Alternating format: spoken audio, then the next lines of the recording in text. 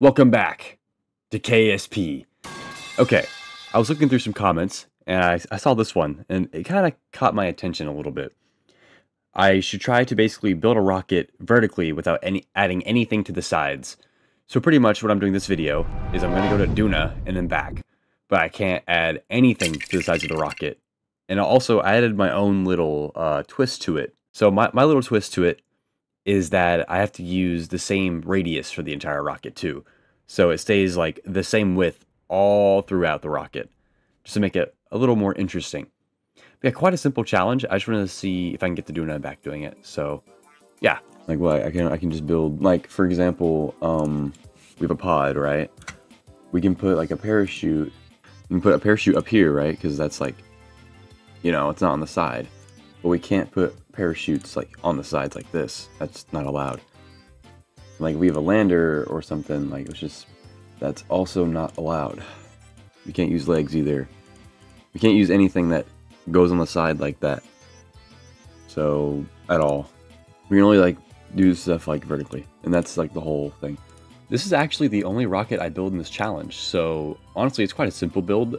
Um, I, I don't think I mentioned this, but it has to be also the same like radius. So I, I could only use, for example, on this rocket, a 1.25 meter diameter um, like rocket for all the stages. So that's what I was building here. And I had like the one of the core landing stages have a lot of reaction wheels because uh, there's no landing legs. So I had to try to land on Duna and stay up without landing legs. And I, that was like, I was really concerned about that. So I put on a bunch of RCS wheels and batteries because we can't use solar panels either. There, that works. Um, I guess let's try to get to Duna with this. It has no fins, so I'm kind of worried. But, I mean, I'm sure it'll be fine. Mmm. oh, yeah. This, this is a rocket right here. This is a rocket. A real rocket.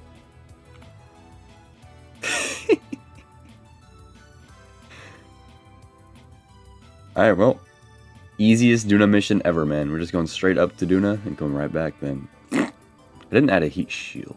That's going to be problematic in the future. Oh well, we're just going to go. I don't care. Question is, can this thing not flip over? Like, if I turn, like, even slightly, is this going to flip? No, but it does wobble. Here, do you see the wobble? That's with auto strut, too. It's like a little, it's like, it's like a little uh, worm. It's like a worm. Oh yeah, oh yeah. Even though it was quite wobbly, it actually flew really well. Also, last time I got a lot of comments talking about my gravity turn. So here's your gravity turn for you. I'm sorry, okay? I'm sorry. There goes like half a rocket. I don't even know if, if this is really considered a challenge. This is kind of, I don't know, it's kind of easy. But we're, we're, we're gonna ball anyway. This mission starts off really easy, like I just stated, but there are some unexpected turns I have to face in the future which really make this kind of challenging. It's like a five minute, five minute mission for real. Alright, well, let's stop lollygagging. Let's go to Duna. And I'll fix it on the way. Heck, just blasting through this. Honestly, quite a typical Duna, like, transfer. I just you know, got a, a, decent encounter, and then halfway through the transit, I just changed my trajectory, where it was like the cheapest for Delta V. Nothing crazy, but I did have less fuel than I thought I would at this stage, and that was becoming an issue. Ole mole, what's up, Duna? We're pulling up to Duna's crib. Pulling up to Duna's crib, yeah. Oh wow, okay, we're here. That's quick. It's a 35 second burn. That's not bad at all. Yeah, so after this uh, Duna insertion burn, I would be left with only 100, like 60 meters a second in my landing stage. So I put my periapsis in the atmosphere so I can slow down using the atmosphere. So I actually have enough fuel to actually land on Duna in the first place. I'm gonna try to burn off some speed without burning to death though, you know what I mean? Are we slowing down at all? Let's see. We are slowing down, so we can low-key just farm this a few orbits if we have to. Because fuel is kind of iffy. I just need enough to land I can, I think I can take off with this stage, hopefully. Yeah, wait, because we put the, can we? Hmm, I hope so. Oh, we're getting a little toasty. Ooh, wow, yeah, we're getting a little bit toasty. Honestly, the Duna descent went almost perfect. We didn't even really get that hot, but we slowed down enough to land in the atmosphere on the first entry, which was really nice. My only major concern was that I, I plan on having more fuel by now. I don't know how long we have until we hit the ground, but I'm nervous. Probably not long. 45 seconds? Seems about right. How slow can we go, though? Without pushing our engines? That is the question of the day. If we need to, I'm ready to, to do it. We might have to. We might have to. Shit. We're getting pretty close. Oh shit, there's a parachute. That gonna be enough though? Ooh, that was clutch. Okay, we're going pretty slow now. We're going 40, 30. Do a Jepsies. It's tough. Anyway, I need to lock in. We're close to the ground. Yeah, we have really strong reaction wheels though, so I think we could be able, we should be able to land and stay up. That's, that's what I'm really hoping because I really don't want to flip. All right. We need to touch the ground going as slow as possible.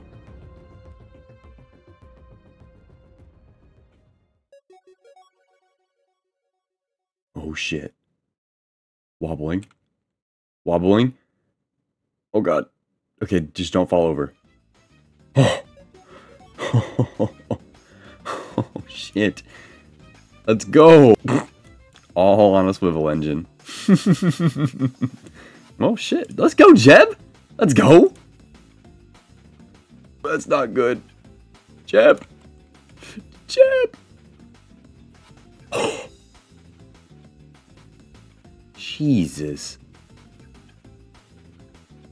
That's really not good. Um, I don't know why I didn't I didn't think of this. Uh, obviously, you throw the weight off, it's gonna flip over. Can we recover this? Probably not, but I'm gonna try.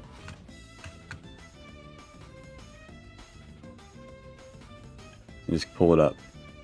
Pull up. Oh shit.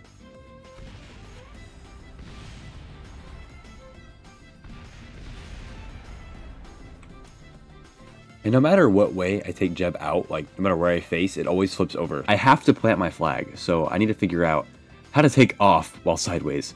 Oh, Jeb just ate his rocket. Okay, hold on, let's...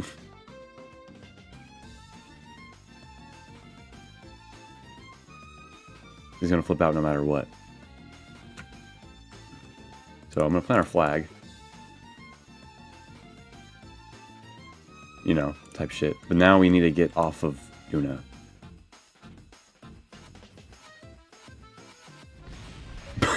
Uh...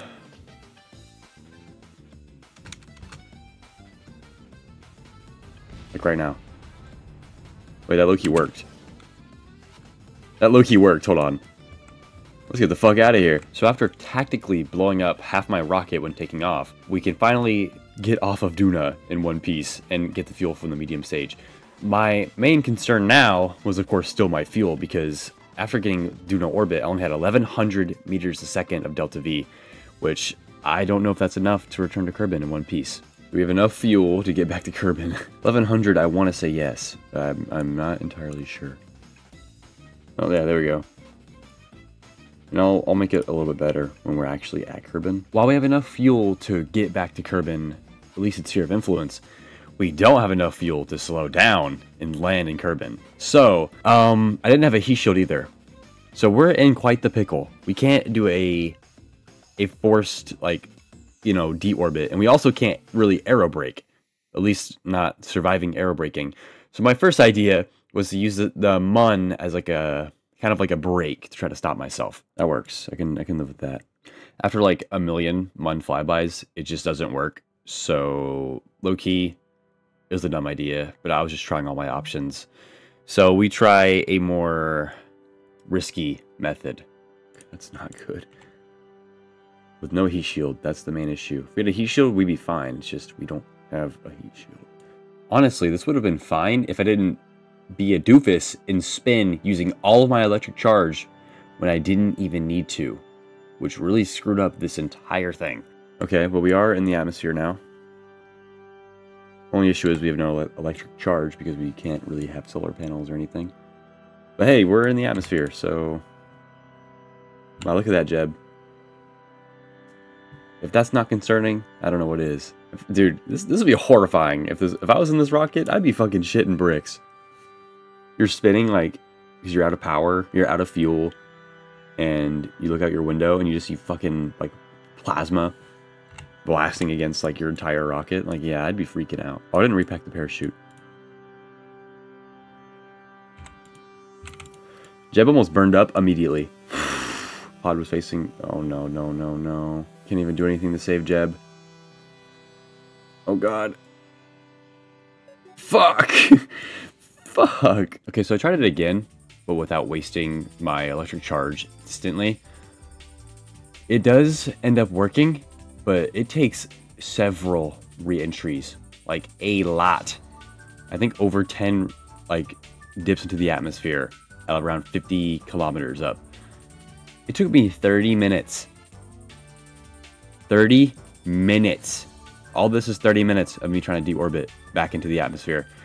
It took me so long. Oh my lord.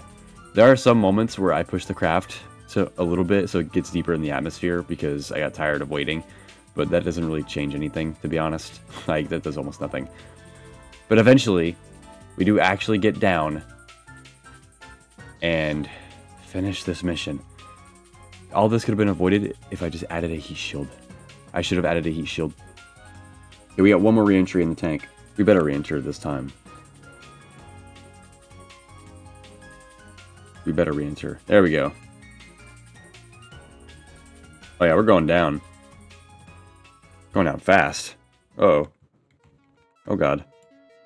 Jeb?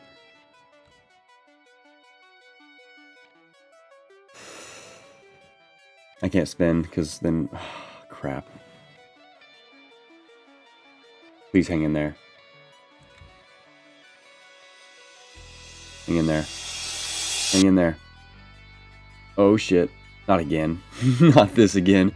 Deb. Don't freak out. But this is not good. this is not good. Oh yeah, wow. He um I think he knows. I think he knows it's not good. I think he's aware he's probably gonna die a horrible, painful death. Well, we're out of charge. We're on the verge of blowing up.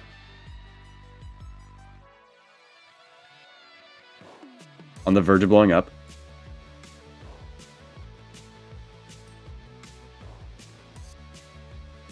What? What? What? what just happened? I don't know what happened, but shit. Okay. I can live with that. we survived that? Jeb! Jeb! You are the luckiest son of a bitch I have ever seen. Nah. There's no way, dude. Genuinely no way. Jeb just tanks it. Like a fucking G. Every time. Jeb just tanks this shit. Jeb should not be alive. Oh, there's more clouds. Yo, this looks sick. It's like sunset too. We're still like halfway overheated. So yeah, that's how I got to Duna and back using um, a pencil rocket with no attachments or anything on the sides and the same radius all around. Honestly, it was actually quite a fun little mission. Even though it was only mainly challenging because I was too stupid to add heat shields. But yeah, so that was that was that. Honestly, um, nothing crazy. I'm just glad we got Jeb home safe after last time leaving him on Minmus. R.I.P. Jeb. Yeah, that was it. Um, thank you for watching. I'll see you later.